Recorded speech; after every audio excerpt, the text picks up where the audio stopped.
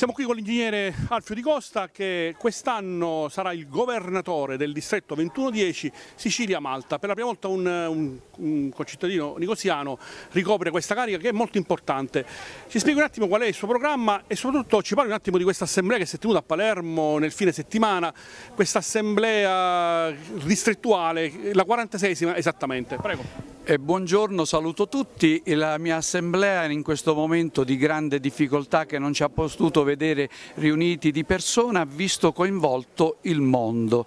Ho avuto il piacere di avere il presidente internazionale Holger Knack, un presidente tedesco, c'era un componente del consiglio d'amministrazione francese e abbiamo avuto il governo regionale con cui abbiamo sottoscritto degli accordi di programma, ha salutato il presidente Musumeci, poi oltre l'assessore eh, Toto Cordaro, l'assessore Edi Bandiera e l'assessore Lagalla. Abbiamo sottoscritto un accordo con l'Istituto Superiore della Sanità, col, eh, rappresentata dalla dottoressa Roberta Pacifici, abbiamo avuto il grande privilegio di avere eh, eh Francesco Giorgino, eh, famoso giornalista del TG1 e anche professore alla LUIS e inoltre abbiamo avuto Umberto Macchi che è un esperto di social internazionali e il professor Walter Ricciardi che rappresenta eh, l'Italia all'Organizzazione Mondiale della Sanità,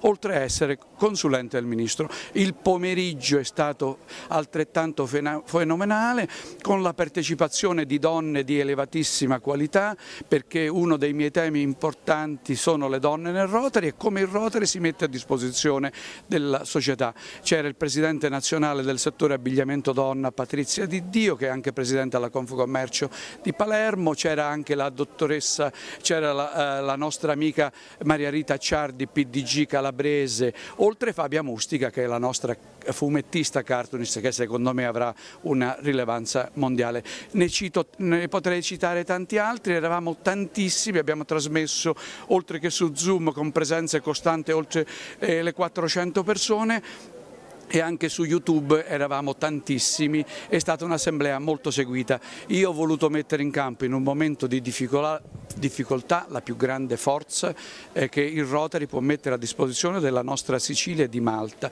Io amo il Rotary, amo la Sicilia e credo che in momenti difficili c'è bisogno di scelte difficili e per questo ho messo in campo le nostre professionalità, tutte al servizio delle comunità vicine e lontane in maniera del tutto gratuita.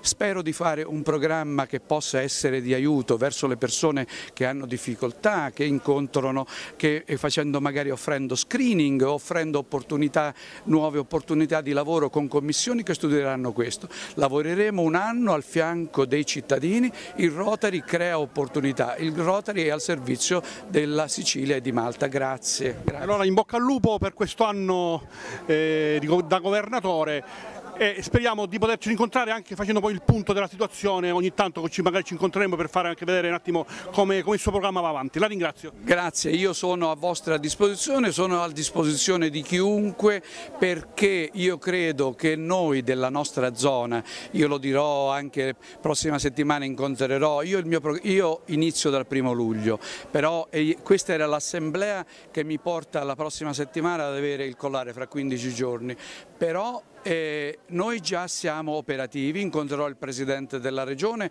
evidenziando le difficoltà, le difficoltà che noi abbiamo nelle nostre vie di comunicazione. Io credo in un, e ho un mio tema, io sono, e ho messo una vera task force su, io credo che la Sicilia non può avere futuro senza infrastrutture adeguate. Noi nella nostra realtà, nella Nicosia lo sappiamo benissimo, noi rischiamo la vita tutti i giorni per poter andare a lavorare o per poterci muovere. Non è giusto, pretendiamo gli stessi servizi e le stesse infrastrutture di qualsiasi altra parte del mondo. Questo io cercherò di impegnarmi, manterrò la mia promessa e vedremo di ottenere dei buoni risultati. Grazie.